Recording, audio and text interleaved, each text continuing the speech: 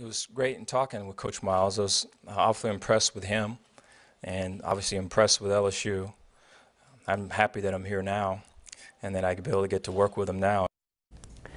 Hey there, and good evening to you. Well, Dave Aranda's roots in college football become more and more evident with each passing week as he goes up against his former head coach who hired him at LSU, Les Miles. Aranda was hired by the Tigers in January of 2016, but only got to work with Miles for four games before he was fired after a slow start to the 2016 season. But even in that short amount of time, Miles and his family left an impact on Baylor's new head coach.